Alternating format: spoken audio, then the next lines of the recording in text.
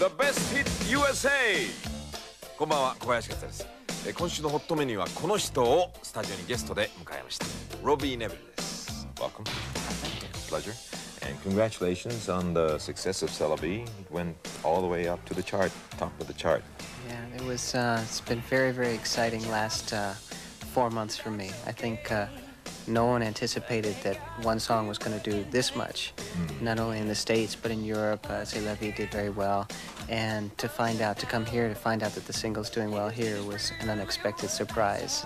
Yeah Well I was kind of surprised You have been uh, you have been in the business for a long time uh, right? Um, Well, about I think in the business meaning to start getting cuts for about four or five years. I've been writing since I was about you know 15. I'm 25 now.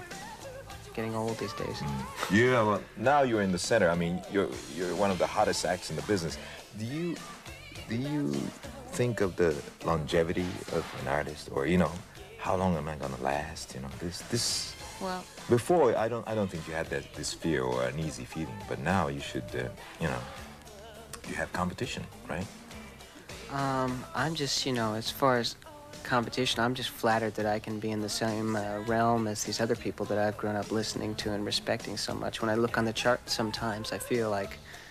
Is it really me, or is this, you know, some kind of, you know, big joke or something? I mean, I'm very, very pleased, and I look at myself and I see, you know, people like, you know, Stevie Winwood or uh, Stevie Wonder or, you know, someone Bruce Springsteen. I go, wow, I'm, I'm in the charts too, and it's very, very exciting. As far as longevity, I think that a goal and a hope of mine is that when you think of people like Stevie Wonder and Stevie Wonder, the people I'd mentioned, you think of a contribution that they've made over a, you know, over a time span, not a particular song. You know, I think of Stevie Wonder, I don't think one song. I think, wow, he's, you know, many albums, and uh, I'm hoping that I have a chance to be around for a while. I don't think it's something I wake up worrying about. I just figure I keep writing the best songs I know how and keep singing, and so far it seems to be doing well. So I'll keep my fingers crossed it keeps going. Yeah. Tell us about the video. Uh, video is something uh, I admire because I mean it's, it's a beautiful video. Uh, the next one, how about the, you have made Yes, made we made already? Dominoes. Uh, we filmed it in London. Uh-huh.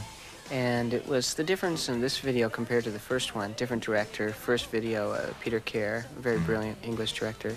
Uh, another English director on this one, Roger Lunn. And it's a different kind of thing. I think it's uh, Dominoes. We went for dark, mysterious, you know, atmospheric kind of thing, uh, and uh, a little bit more performance oriented. And um, the song is it, we did it in a kind of an old English warehouse, a Victorian kind of look. It was a lot of fun, but it was extremely cold. Some of uh, what people think are special effects in the video with like smoke coming out of the mouth is just because it was freezing.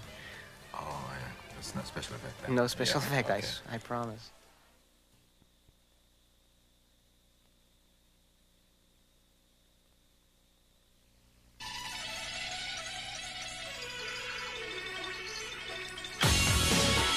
Robbie Nevil, Dominoes.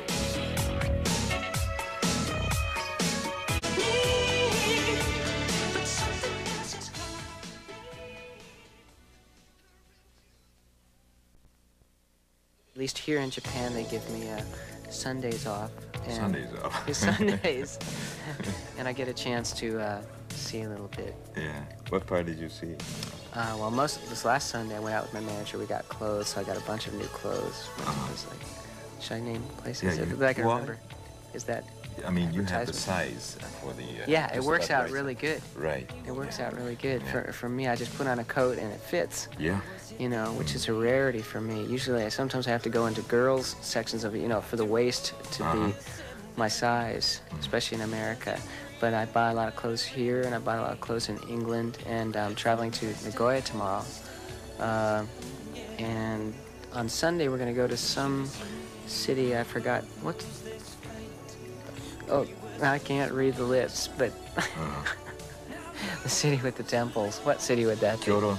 Yeah, I Kyoto. think, I think so. That's the Uh-huh. place. Yeah. And uh, I'm looking forward to that. Mhm. And I get to eat a lot here. I think they're trying to fatten me up. Okay.